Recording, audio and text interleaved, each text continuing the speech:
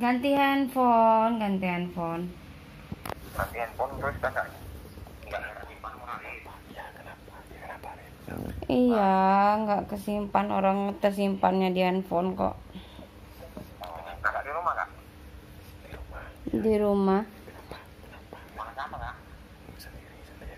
Sama adik.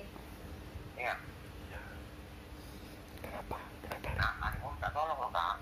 Kenapa? Ada apa, Rip? Ini kak, tapi kakak janji janji sama sama kakak bisa kan kak? Ya, ya. Iya, lo apa? Iya.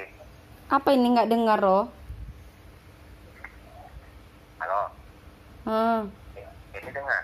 Ya dengar. iya iya. Ini loh kak. Ini kan Arif lagi di pom bensin. Dia nemu mas. Dia nemu mas. Dia nemu mas. Iya. Halo, Ah iya, ah. dengar nggak? Iya dengar. Ini kan Arif sekarang lagi di pom bensin kak. Hmm, eh, terus? Kan habis isi, tadi kan habis isi minyak di pom bensin ini kan kebetulan Arif ke kamar mandi pom bensin ini buang air kecil. Mm-mm. Jadi kan mau nutup itu kamar mandi pom bensin ini kan rupanya ada pula tas yang ketinggalan di sini kak. Oh, alah. Arif nggak tahu minta siapa kan gitu. Mm-mm. Jadi kan penasaran Arif pada uangnya. Halo, Nah, ya terus? Kan ada uangnya. Arif hitung-hitung uangnya ada 18 juta 800 dalam tas ini kak.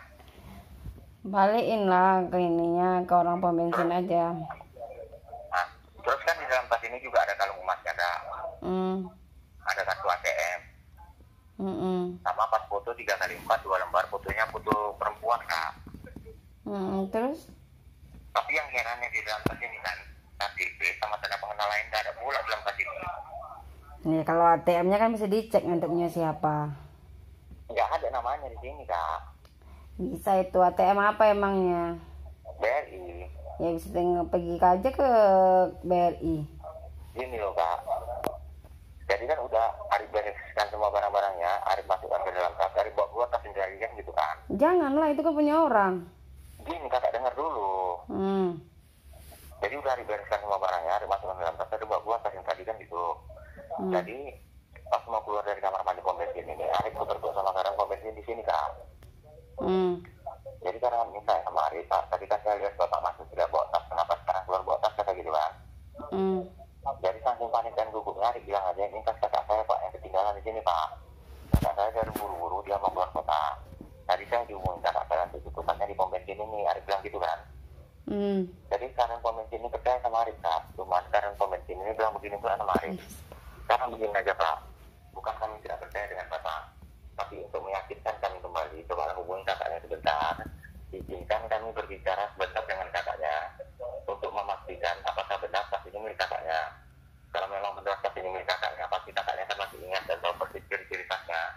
Beserta isi dalamnya katanya gitu Ya. nah jadi maksud Arif gini kak. Kita bersandiwara bilang kan tas yang Arif temukan ini punya kakak ya? Ih, ngapain? gini loh kak. Jadi kan gini ini kan tasnya tas ini kan dibawa karyawannya ke kantornya. Ya kan? Iya. jadi Arif pikir sampai di kantor orang ini tas ini mau diamankan sama orang itu kak. Rupanya tas ini dibuka uangnya diambil dibagi-bagikan sama kawan-kawannya. Ya Arif gak terima karena Arif yang nemukan. Eh, nggak usah. bilang Iya. bilang begini loh kak kak jadi Arif bilang begini pak jangan bagi-bagi gitu aja uang dalam tas itu pak itu uang milik kakak saya nanti kalau seandainya barang atau uangnya berkurang nanti bapak kami tutup Arif bilang gitu Nah, Hmm. jadi jadi datang sekuritinya bilang begini, ya udahlah pak, sekarang begini aja lah. Cobalah hubungi kakaknya sebentar, izinkan kami berbicara sebentar dengan kakaknya untuk memastikan apakah benar tas ini milik kakaknya. Kalau memang benar tas ini milik kakaknya, pasti kakaknya kan masih ingat dan tahu tasnya, beserta isi dalamnya kata gitu kak. Nah, Hmm. jadi ketimbang tas ini uangnya dibagi-bagikan orang ini, bagus kita amankan dulu tas ini. Nanti gimana caranya kita bagi dua atau gimana kak?